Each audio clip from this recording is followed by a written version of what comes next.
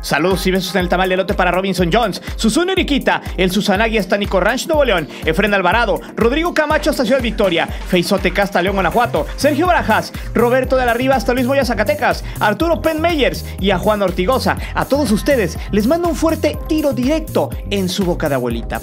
Al hacer este video y al leer las historias, al indagar y al elaborar todo este contenido, me pregunté, ¿qué demonios estamos haciendo? ¿Somos víctimas de una pasión tonta? ¿Realmente estamos listos para ser parte del fútbol? Creo que después de ver este video deberás replantearte si realmente tienes las ideas claras de que el fútbol es un deporte recreativo para pasar el rato y relajarse. Tristemente, los actores que verás a continuación no pensaron así y laceraron para siempre vidas de personajes que solo hacían su trabajo en la cancha. Algunos por gusto, amor al fútbol y unos cuantos pesos para poder comer. Prepárate, porque a continuación verás los 5 casos de terror hacia un árbitro amateur. Antes de seguir con el video te invito a suscribirte al canal, activa la campana para que recibas todas las notificaciones de nuestro material y de las narraciones en vivo. Te divertirás, te lo aseguro. Proyectil de vidrio. Rosángela García es una persona que le gusta impartir justicia en las canchas en sus tiempos libres. Ya con un buen rato en el pequeño negocio de los árbitros amateurs, Rosa sabía perfectamente que ser el encargado de señalar decisiones que pueden costar un resultado es como una bomba de tiempo, y más si actúas en la línea de banda. Si bien es cierto que a nadie le gusta perder, la realidad es que personajes como los que verás a continuación me hacen dudar si realmente el fútbol es para todos. Fue a mediados del 2017 cuando corría un juego importante entre la Fundación Real Madrid y la selección femenil de Puebla en el juego de ida en sus etapas finales. Rosa sabía perfectamente que este juego de la femenil se pondría caliente debido a lo que estaba en juego. Cuando todo parecía que terminaría en saldo blanco a escasos minutos de terminar el encuentro que por cierto ganaron las poblanas 1-0, una botella de vidrio salió volando de la tribuna con destino a la cabeza de la juez de línea. El impacto fue tal que muchos de los presentes ahí se quedaron perplejos por el golpe que dejó inconsciente por algunos momentos al árbitro. Lo curioso es que muchos ni supieron de dónde había salido el artefacto. En una entrevista con el director técnico del equipo poblano, Carlos Ramos, mencionó que él no había visto de dónde salió disparado a la botella y que no entendía cómo era posible que la violencia se manifestara en la grada si el juego lo habían llevado los árbitros a buen puerto. Versiones extraoficiales indicaron que el hombre responsable había sido Cristian Hernández, el entonces director técnico de Fundación Real Madrid, quien había tenido un pequeño percance con los árbitros. Este había sido expulsado del encuentro por conducta antideportiva. Después del hecho, la Liga Mexicana Femenil se deslindó del acto y dijo que el equipo mexiquense, Fundación Real Madrid, se haría cargo de los gastos de recuperación de la juez de línea lesionada. Como es normal, la Asociación Mexicana de Árbitros se pronunció al respecto, reprochó el hecho y nada más. Nunca se encontró al agresor. Golpe mortal. El caso de José Valdemar Hernández es uno de los más típicos en las canchas llaneras. De hecho, a esto se arriesgan los árbitros cuando van a pitar juegos muy calientes. José Valdemar era una persona que le gustaba vivir el fútbol desde la zona de las reglas. Oriundo de Jalapa, Veracruz, la capital veracruzana, vivió en carne propia el terror de una cancha de fútbol y tomó una decisión que le costaría el ya no estar más en este mundo. Los hechos ocurrieron la tarde del 24 de diciembre del 2017 en la cancha Pemex El Castillo de Jalapa, Veracruz. En ese partido se enfrentaban el Guadalajara y los Pumas. Así, se llamaban los dos equipos amateurs que disputaban en la Navidad un encuentro especial. De hecho, el juego iba muy bien, no había habido problema alguno, pero el infierno para el veterano Silvante comenzaría cuando este le sacó la doble amarilla a un jugador del Guadalajara llamado Nilton Márquez Tepatlán. Este se fue bruscamente sobre el juez y le propinó una tremenda macaniza a la vista de los jugadores, técnicos y público en general. Prácticamente nadie se metió a evitar tal acto al grado de provocarle severos daños en la cabeza. El juez cayó al suelo inconsciente y tuvo que ser trasladado a un centro especializado. De ahí, José Valdemar jamás despertó, estuvo seis días sin responder y fue el 30 de enero cuando abandonó esta dimensión. Luego de ese hecho en la cancha, nadie denunció al jugador, pero cuando se supo la mala noticia, los familiares del juez buscaron por todos los medios para que se hiciera justicia, ya que al no haber alguna denuncia, la fiscalía no podía hacer absolutamente nada.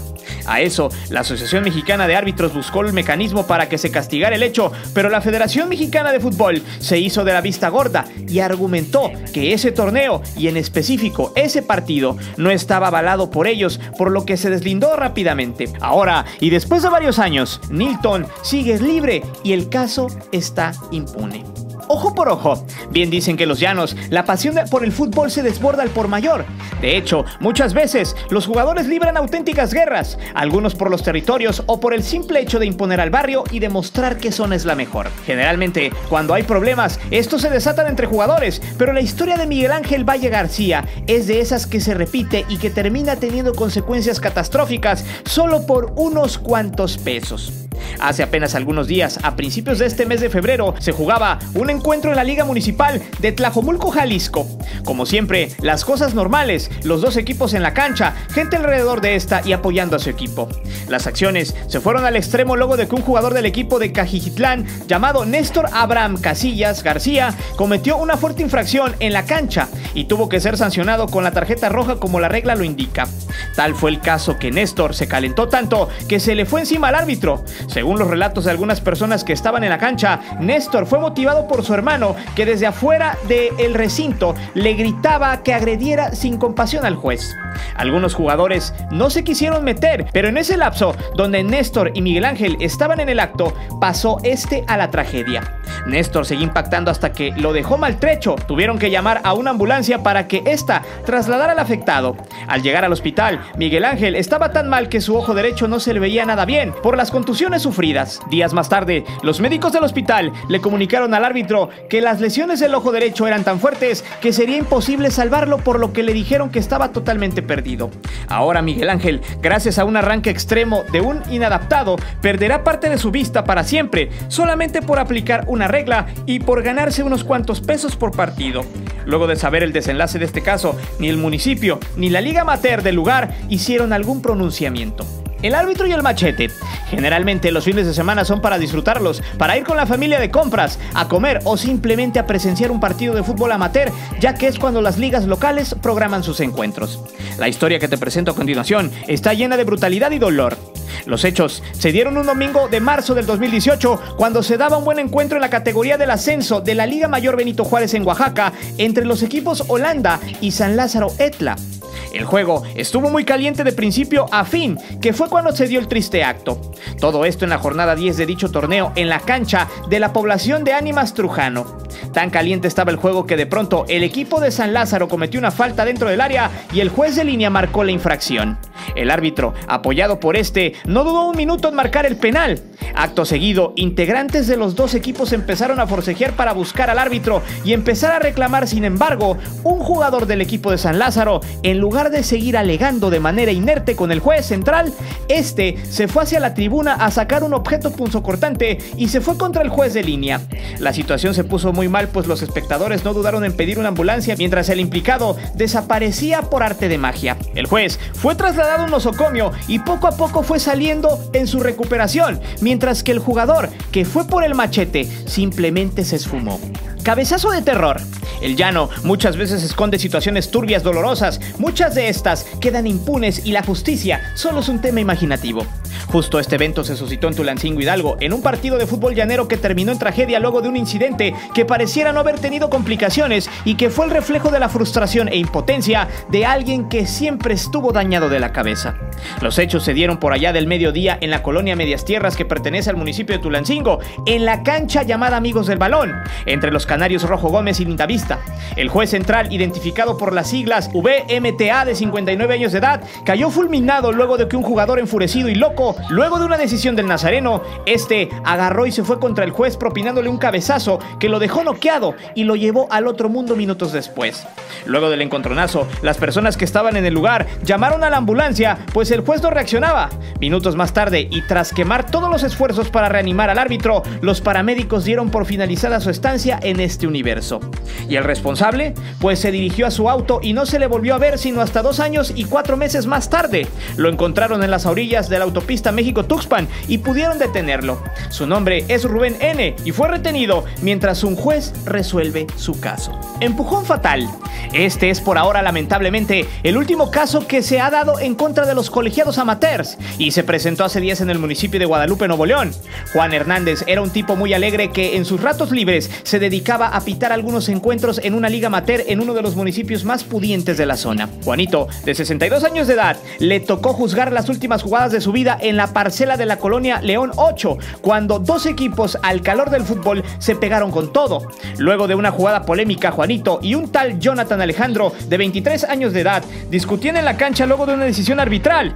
Todo parecía ser algo normal, sino hasta que la polémica de la jugada llegó. Jonathan no estuvo tan de acuerdo en el criterio arbitral y este, en una acción desmedida y de rabia, empujó al árbitro, cayendo de espalda y golpeándose en una parte muy sensible de la cabeza. El nazareno estuvo inconsciente por alrededor de 15 minutos. Luego llegó una ambulancia y lo tuvieron que trasladar a un hospital del municipio de San Nicolás de los Garza.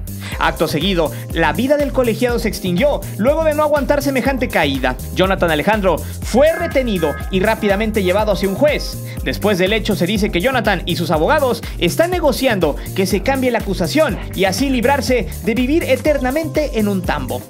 Espero este video te haya dejado un poco de reflexión, ya que todos estos actos reprobables se han replicado más de lo de costumbre en las canchas amateurs mexicanas.